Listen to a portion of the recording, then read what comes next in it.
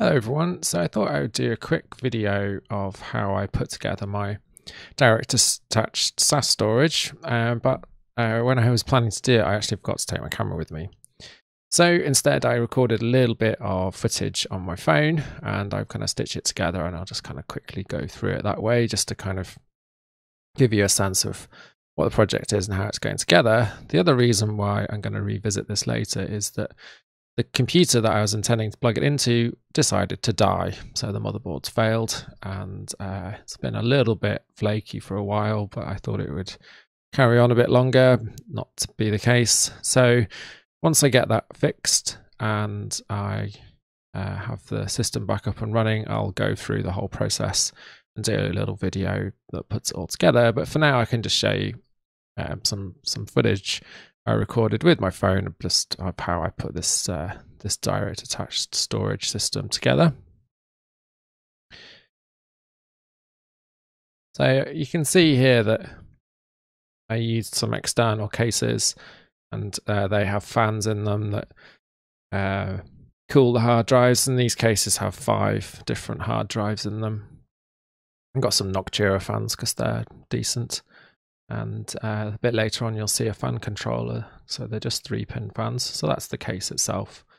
You can kind of see that uh, five slot in there and little mounting brackets. It's not exactly hot swappable, but it's uh, pretty convenient still. And those things just go on the front. And then that mounts in three five and a quarter inch bays in your case. So it's a pretty neat solution. And these were about 25 pounds off eBay, something like that. So they're by no means an expensive uh, solution to this. that's fine. This is supposed to be a kind of budget project. So you can see it fits together quite nicely in the fans in the front there. So I use them in intake mode, so they suck air in across the drives and then the external fan in the back that expels the warm air. And there you can see one that's been populated with five hard drives. So the system I've got will have eight functioning hard drives and one spare. So there's the other case. And that's got four in and a gap down the middle just for airflow. And you can see these are SAS drives, um, which doesn't really present a problem, but you just have to kind of bear that in mind when you're looking at powering these things up. So this is the case I'm going to put it in. It's an old, um, so an old rack mountable case, but it's also tower convertible. I'll just take those rack mounts off and then uh, mount the drives in. And this is a pass-through card. So the mini SAS controllers will connect to that.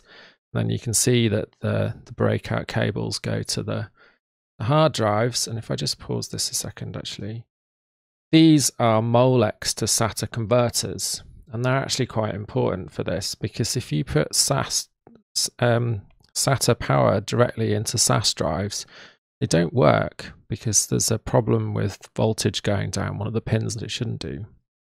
If you convert a Molex, which is four pin, to a, a SATA um, power, you don't get that problem. And then these, uh, which are breakout, the mini SAS cable, so they go to that pass-through card. Um, they just plugs the uh, the SATA power plugs into that um, bracket. It's a bit hard to see. You can kind of see one there actually. And that's a solution to using SAS drives without a SAS backplane. You can just use a standard SATA uh, power connector conversion from Molex, which is what I've got here. Let's restart that.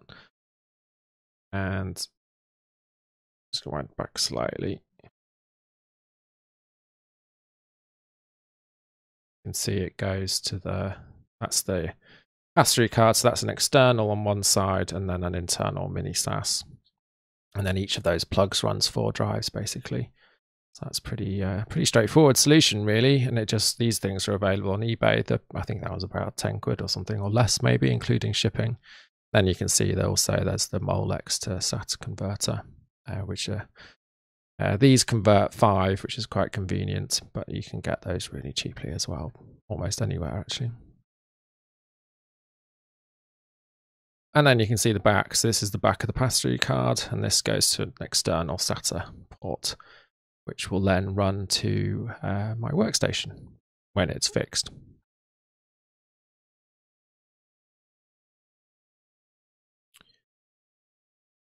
So this is it running. So the fans, this actually, yes, is the other thing I should notice, uh, mention. This uses a standard power supply, but obviously you need to be able to switch that on and off.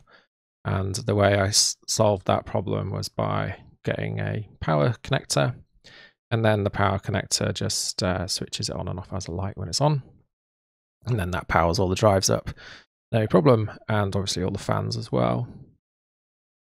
So you can see the fans running there. So power supply, the hard drives. And there's pretty good airflow through this. I did actually turn it down to the lower speed on the fan controller because there was more airflow than I felt I needed. And that's the front. You can see the front of the the system there. So that's it really. It's dead simple. What you didn't see actually is the uh, the fan controller, which is just a simple, say, um, SATA connector that powers it, and then it has uh, ports for I think six fans, and it has an off, low, or high setting, and I just put it on the low setting, and that gives enough airflow.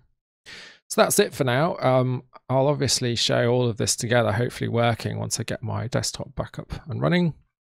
But until then, that's just a quick run through of uh, the system that I put together for this job. So I hope you find that interesting, and I'll see you in another podcast.